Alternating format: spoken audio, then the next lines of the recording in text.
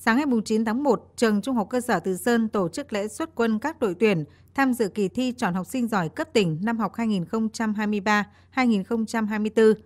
Đồng chí Đàm Thế Sử, Ủy viên Ban Thường vụ Thành ủy, Phó Chủ tịch Thường trực Ủy ban nhân dân thành phố, lãnh đạo Phòng Giáo dục Đào tạo thành phố, hiệu trưởng các trường có học sinh chọn học sinh giỏi trong thành phố đã về dự và động viên các đội tuyển.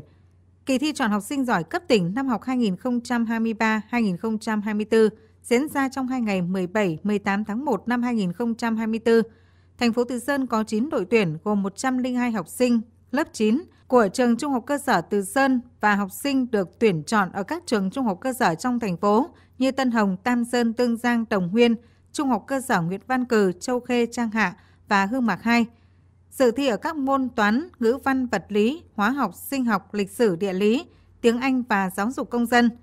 Để chuẩn bị tốt cho kỳ thi và nhằm tiếp nối truyền thống quê hương văn hiến hiếu học, cũng như những thành tích từ những năm trước, thời gian qua dưới sự chỉ đạo trực tiếp của Ủy ban nhân dân thành phố, của Phòng Giáo dục Đào tạo thành phố, Trường Trung học cơ sở Từ Sơn đã thành lập các đội tuyển, cử các thầy cô giáo có năng lực chuyên môn tốt nhất tham gia bồi dưỡng các đội tuyển tham dự kỳ thi chọn học sinh giỏi cấp tỉnh năm học 2023-2024.